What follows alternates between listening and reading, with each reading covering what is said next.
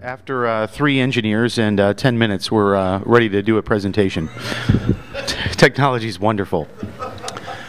Uh, so, uh, as uh, the slide implies, my name is Douglas Fuller, uh, and uh, I'm a member of the National Climate Computing Research Center, and I'll explain why my slides uh, look like ORNL and also say uh, National Climate Computing Research Center in a moment.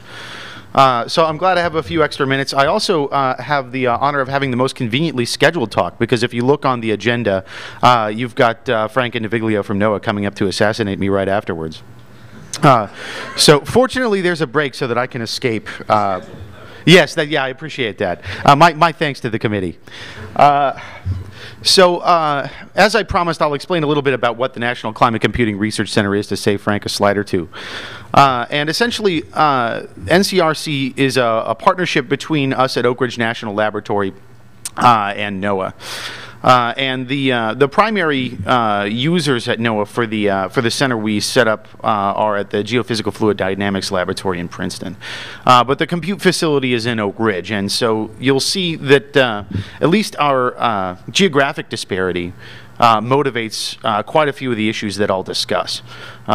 so we uh, first began operations in September 2010, obviously uh, after a, a, planning and deployment phase. Uh, and we'll still have upgrades uh, coming in through next year. Uh, we're scheduled to continue until 2014, uh, and so although so far it's been a very productive partnership, we, uh, we have a long way to go. Uh, and so we look forward to continuing that. so straight away, the, the um, main compute platform that we use at the National Climate Computing Research Center is called Gaia. so you can see our, our picture here depicting the phase one system as far as the graphic there stretches and then uh, the phase two system, which is sort of uh, fading into the picture there. Uh, the first drop is uh, a Cray XT6 for those that aren't familiar with the finer points of uh, Cray modeled numbering. that implies that you're looking at a two-socket compute blade with, the, with Cray's SeaStar interconnect. Uh, so there's about 2,500 processors, about a quarter petaflop peak performance. Uh, and uh, of course, Although this is an HPC talk and does lack a slide from the top 500 list, uh, at the very least, uh, I can say it's very impressive that this footprint fits in 14 cabinets, uh, and uh, it's it's impressive to see the levels of performance and the and the evolution, uh, looking right on the floor of the computing facility at uh, Oak Ridge National Lab.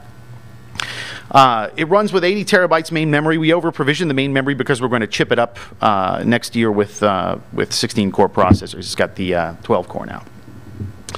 Uh, so we'll upgrade that. Uh, you know, uh, I have in 2011 here. We may go 2012.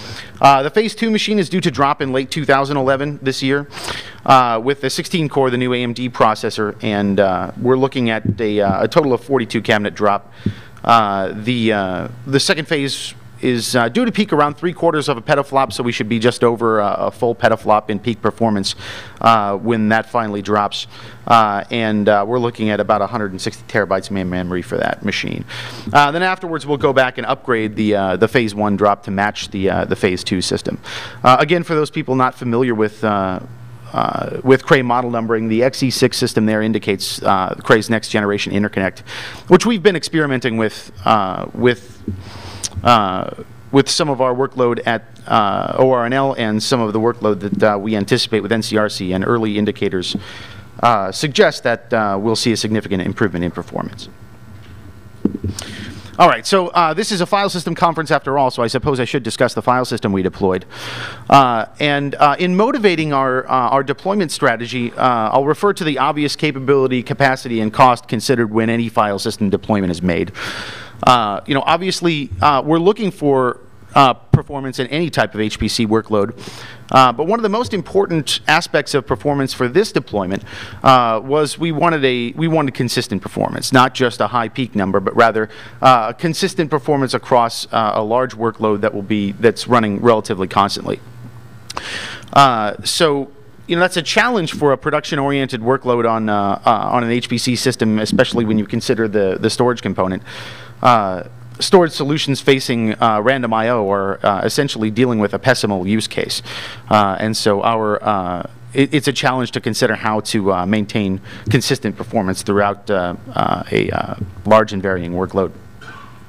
Uh, also, there's a lot of other work to do besides just compute on this platform.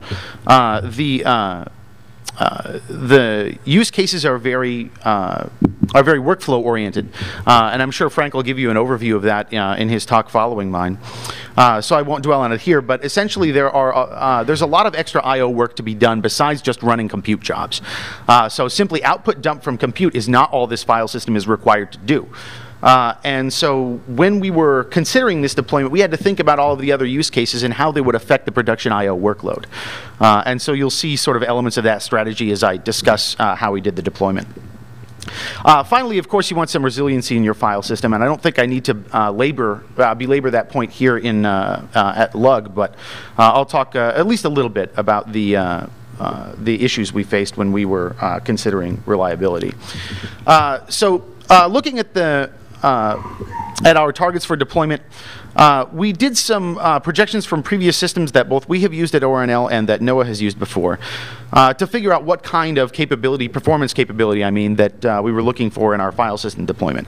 Uh, obviously, uh, you know, we looked at how much data that the, this, the NOAA's existing systems produce per day, and we looked at the I/O duty cycles used on their codes, and we tried to, from there, project what a system of this performance would would be able to put out in terms of I/O.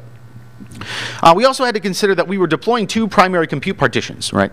Uh, and so as a result, we had to size the I.O. subsystem for uh, not just one, but two systems simultaneously. Uh, and in addition, we had to make sure that our interconnect network uh, facilitated the use of both systems. Uh, and again, a bunch of auxiliary work, which I'll get into a little bit later. and then I'm sure Frank will give you more details following that so uh, also, of course, we, we are talking about a file system and storing data. Uh, so it was important to think about the use cases, uh, the capacity use cases that also need performance, whether those use cases need high performance, uh, whether they need consistent performance, or whether they're simply uh, bulk data storage. Obviously, Scratch is what you think of when you first think of Lustre, and I know many of us are working to change that. Uh, but also, as I'll explain in a moment, since we're geographically far from our, most of our users, we also want to function as so we want the file system to function as sort of a hot data set cache. Uh, in other words, we want to store uh, near the system as much of the uh, as much of the data sets that we uh, that we can, uh, so that they don't all have to be transferred from far away. Uh, finally, we also want our the file system to function as sort of a semi-persistent library, a an area where many working data sets can be stored instead of just instead of just uh, you know model output. Uh, and finally, we need uh, the file system to function as a buffer uh, for WAN transfer works, again, since we're geographically far from our users. Uh, and they're constantly shuffling data back and forth, it's important to be able to cache as much of that as we can. Uh, so that because uh, obviously the system can compute uh, considerably faster than any of the data transfers. So in order to keep the system busy, we want to function, uh, we want to have uh, a sort of caching capability to go along with the production I/O workload. Now we also have a, a, significant consistency requirement that's you know, a bit different from previous deployments that we've done. But the problem is we have all of these different use cases that I alluded to earlier. So we have some use cases that really demand performance, that demand uh, consistent high performance I.O. capability. Uh, obviously, Scratch is, a, is uh, almost entirely a performance play. Uh, and the hot data set caches sort of, you know, read Scratch, right? So that's, it's also important to make sure that, uh, that uh, we get good performance with those, with those factors. Uh, but really now a couple of the other things we do are more capacity plays as opposed to capability ones. Uh, so, uh, you know, I mentioned that we want to serve as, a, uh, as sort of a data cache. Uh, and while, of course, performance is important, it's not really comparable to the compute performance on the, on the systems. it's really more that the, the cache needs to be able to outrun the, the WAN transfer links, and that's not terribly hard. Uh, but essentially, we do want as much storage uh, capacity as we can get uh, for that type of uh, uh, for that type of work. Uh, and so, of course, then again, uh, that leads us to consider cost because it's wonderful to have lots of capability and lots of capacity, uh, but then again, you have to be able to afford it. Uh, on a side note here, uh, you know, I, I, think we could, we probably all share the pain in this room uh, about specking I/O deployments to go along with compute uh, because we're, we're the ones always getting squeezed on cost, right? And we're the ones the users always complain about when the system goes into production. Uh, but of course, uh, there's no top 500 list for file systems, and as a result, uh, I think we're often overlooked in terms of budget. Uh, and so that, pre that presents some significant challenges, right? Uh, it turns out that I.O. seems to be the thing that's always getting cut in the end. Uh, and while I'm in the sense preaching to the choir here, I like to complain as much as I can and as loudly as I can at HPC conferences about how uh, about how little attention uh, is uh, paid to the file system component uh, during the deployment, followed by how much is paid by the users following uh, operations. Uh, so once again, I'm, I'm preaching to the choir here, so I need not continue about that. but of course, cost was an important motivating factor for us, and we were trying to squeeze the cost down to make sure we could provide sufficient compute capability. and so, you know, really, you know, we're seen as the robber, uh, as I.O. people going in and saying, hey, you're specking us a petaflop of compute uh, and not enough I.O. We need more budget. Uh, and of course, that goes over as a funny joke uh, in uh, all procurement discussions. Uh, and so, as a result, though, considering all these use cases and on a limited budget, it was important for us to figure out how we were going to make all this stuff happen. Uh, and I should mention also that uh, it's sort of a double whammy when we ask for more budget and provisioning in I/O, because not only do we ask for uh, you know more disks, more disk controllers, more uh, more uh, I/O nodes, uh, we also ask for more I/O capability to be attached to the compute platform, and so we also take compute uh, capability away from the compute platform uh, to dedicate to serving storage. So we sort of uh, have a double impact on, uh, on compute when we want to do more I.O. So essentially what we decided to do was to split our uh, file system into two because essentially we had some, uh, some pretty strict capability requirements but also some use cases that really required more capacity. Uh, so uh, this slide here details the uh, the actual uh, split deployment that we did. Uh, we implemented the DDN uh, SFA 10000. Uh, and uh, you'll see here, if you look at the, uh, uh at the uh, we named the file systems Fast Scratch and Long-Term Fast Scratch because creativity was an important part of the deployment. Uh, but if you look on the, on the left at the Fast Scratch, it's much, it's much more obviously a capability play, right? A performance file system deployed with far more OSS nodes and so far sparser storage really designed to maximize the, the performance of the, of the SFA 10000 as opposed to a capacity play. so we depopulated the uh, the uh, drive trays on the system to fit the, uh, uh, the performance envelope. And you'll see with the long-term fast scratch, we included much larger, slower disks and far more disks per OSS node. So we were, we were trying to decouple sort of our capability use cases and our capacity ones. Uh, and uh, so obviously this creates, uh, this is nicer from a budget perspective because uh, we can target our file systems for exactly for the use cases. Uh, but we've got two compute platforms and now two file systems, so that greatly increases the complexity of our deployment. Uh, so here's just a quick cartoon describing how everything is connected together. Uh, and uh, you'll get more details from this, uh, on this from Frank, I am certain. Uh, so you'll see the two compute partitions here, of course, the, the, the, future one, the future compute partition fading in there. We only connected the, the capability file system to the compute platforms. So the capacity file system, the LTFS, is not directly accessible. you'll see there's some data transfer pieces in the middle that I'll explain in a moment here. Uh, but uh, you can see that this increases our complexity greatly, right? Uh, and we depend a lot on, uh, on sort of Moab to conduct this dance and make everything work well together. Uh, and again, I'm sure Frank will, uh, will talk about how well that's working. Uh, so essentially, uh, as I mentioned here, the compute platform really only sees the, the, uh, the capability file system, uh, and the capacity file system is used more for staging and data transfer. Uh, and really, you hope that the data staging that comes from the capacity file system into the capability one is relatively sequential, right? Uh, of course, the hope for sequential I/O is, uh, you know, something we all wish for and we never get. We spec our file systems based on sequential I/O, and then no user ever does it. But the the hope here is that at least data staging will be relatively sequential, and we should be able to avoid uh, significant performance overheads on the capability file system uh, by making sure that those data transfers are as well behaved as possible. Uh, and so that uh, we uh, we do that data, and then when we stage data back, we stage it back to this bulk storage again, uh, hopefully in a sequential fashion after uh, the uh, compute partition has done its output.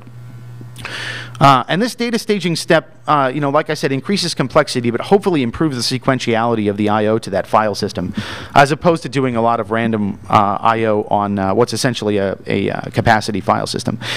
Uh, and since we deployed two file systems, we tried to leverage synergies. I have to use synergy in a in a workshop talk to to imply that I I did something useful. yeah, I got a woohoo. Thank you. And, but uh, we tried to use synergies in the hardware where we could. So, for example, uh, you know, we deployed uh, InfiniBand networks for these file systems, uh, and so we cross-connected the switches uh, for uh, redundancy purposes. so, you know, that helps a little, and it makes sure that you know wherever we can, we use these resources effectively. Also, uh, I mentioned that we have these uh, these data staging nodes here. I'll, I'll talk about the details in a second, but we also try and get them to do some do double duty. So we have them do some very lightweight post-processing where they're doing uh, sequential reads from uh, one file system and sequential writes to another. Uh, and again, that just sort of lets us offload a little bit of the compute, but more importantly, the sequential I/O uh, from the compute platforms.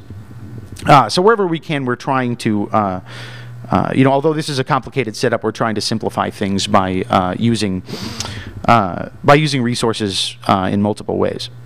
Uh, so I said I'd explain the data mover, so here's the payoff. The, uh, uh, so we have a couple of different types of data movers uh, because essentially we have, since we have two file systems, one of which is not directly connected to the primary compute platforms, we need data movers to slosh data back and forth. And so we deployed 16 uh, InfiniBand servers uh, solely to handle data transfer between these two file systems. and again, as part of the, as part of the, the synergies that we're trying to, to put into place, we're trying to use them for some lightweight post-processing, but essentially they're data sloshers. Uh, and they're running a couple of tools that we developed at Oak Ridge National Laboratory, uh, including a, uh, a, data staging uh, tool that's uh, Lustre aware. So essentially, re it reads and writes stripes. Uh, it's downloadable from our website. It's called the Staging Parallel Distributed Copy Tool, SPDCP. Uh, and that was developed at, uh, at Oak Ridge National Laboratory, and it, uh, it helps us handle high-speed data transfer between Lustre file systems. and so, like I said, the, the LDTNs also handle some of the, the local post-processing. Finally, we need uh, data movers to slosh data back and forth between uh, essentially Princeton and Oak Ridge. Uh, and uh, these data movers, as you can see in the diagram, operate uh, you know, uh, between the WAN and the, the capacity file system. and we have eight of these, and they're, they're connected both with Ethernet for the WAN and InfiniBand for the local file system networks. and, the, and you can see here that if we have to slosh data in from afar, from the WAN, then slosh it between our capability and capacity file systems, we're doing a lot of extra work here. Uh, and although that, improve, that improves the sequentiality of our I.O., uh, it results in a lot more complicated workflow. Uh, and uh, so as I mentioned in the opening, uh, we rely on our scheduler to, uh, to do a lot of extra work here. Uh, and that produces some challenges as a result. Again, I'm sure Frank will get into those. Uh, so that's uh, that wraps up the uh, the deployment.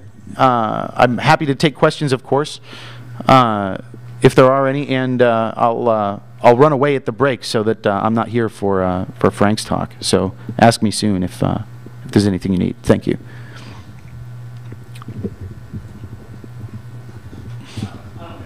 Well, you go, man.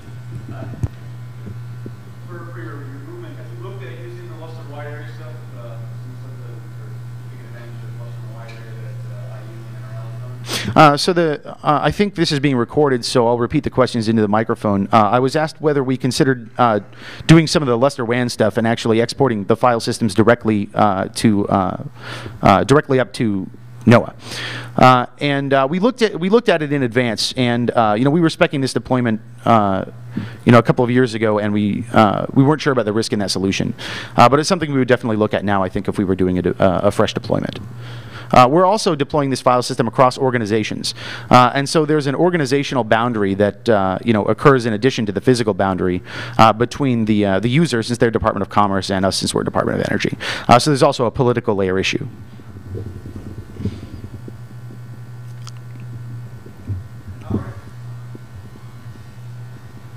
You, you can shout the question and I can repeat it. That's fine too. No, I don't mind. I just want to go out of turn. Uh, How are you managing authentication across this boundary, or are you? Uh, so the question is, how are we uh, managing uh, authentication across that political layer boundary? Uh, so there's a there's a couple of different ways we're doing it, and I'm sure uh, Frank will give you some more of the the details uh, when he gives the presentation. So we. There's a couple of different ways we do it. Uh, in one, uh, one way we use Globus, so we, uh, we use security certificates. And uh, we also uh, do a uh, we also do SecurID key fobs. Uh, and our security teams work together to uh, to manage a, an LDAP system that uh, is handled by NOAA for their users, uh, and so they can authenticate either via SecurID or using Globus grid certificates. So by the time it reaches the OSS, it's already been fully authenticated. Yeah, that's right. Uh, by the time I/O reaches the OSS, the user's logged in or the a job's running on behalf of the users. Yes, so the, the users don't authenticate themselves to the OSS in any more complicated fashion than, than usual Lustre deployments. Uh, we do the upcall to, uh, we, we pull down things from the, uh, the our data from the, uh, uh, from the directory server for doing you know user and group upcall and that stuff. So it's it's pretty standard. Can you please describe the IB infrastructure? How many switches, what kind of switches, how they're connected to each other? Sure. So the uh, the they uh, oh I don't have to repeat that because it was said into the microphone. So the uh, uh, we deployed uh, Voltaire QDR InfiniBand switches. We deployed the uh, 104. Oh, I, I can never get the the port numbers right with QDR since it's all multiples of 36. Uh, but essentially, each file system is fully connected on a, a single Voltaire blade switch, and then we cross-connected the uh, OSS nodes to uh, each other's InfiniBand switches as a backup path. Uh, then the uh, here I'll, I'll move back to my diagram slide here. Uh, so if you, uh, these cylinders depict fully connected IB networks, uh, and the, uh, oh, thanks. Uh, laser pointer delivery, see? You talk long enough, and, and eventually they give you laser pointer for free. So each of these represent fully connected IB networks, uh, and uh, each switch is cross-connected from uh, the compute platforms and the, uh, the data transfer nodes, so that if we lose a switch, we don't lose the file system entirely. Does that fully answer your question, or are you interested in more details? So it sounds like you get compute, the computes have their own infrastructure from IB and then they're sort of connected to the storage infrastructure. No, uh, so the compute, uh, since the compute is Cray, the, uh, the uh, compute network interconnect is fully integrated, uh, and the, en- uh, the entire purpose of the InfiniBand attached to the compute platforms is I/O. So they're connected directly to the switches to which the OSSs are connected. Um, did you consider using OST pools to make a single file system and just have two different classes of storage? Yeah, that's an excellent question. We did think about that, but again, it was early in the deployment of OST pools, uh, and uh, so. But it is something we thought we, we thought quite a bit about, and again, it's something we might have considered if we were deploying the file system today. I would also add that there was some concern uh, in terms of failure uh, domains. Yeah, that's right. Right, that, that's right. Uh, so, uh, and uh, yeah, I'm not sure what the implications are of uh, OST pools and, and failure, but that's right. Uh, so, uh, again, this this goes back to our geographic disparity here a little bit, but we would kind of like to be able to stage more data in, even if the production file system is down, right? Because essentially, the, the most stringent bottleneck here is the WAN, and not really a, not even the the local file systems. Anybody else? Uh, I think there's one more behind you. What kind of speed do you get from a GridFTP service to Princeton? Uh, so, uh, he, oh, go ahead, Hugh.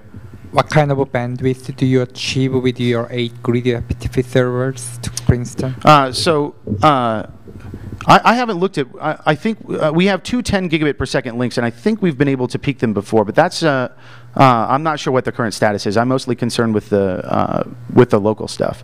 Uh, but I can find out and, and talk to you about it later if you want. If there's no further questions, thanks for your time. Thanks, Doug.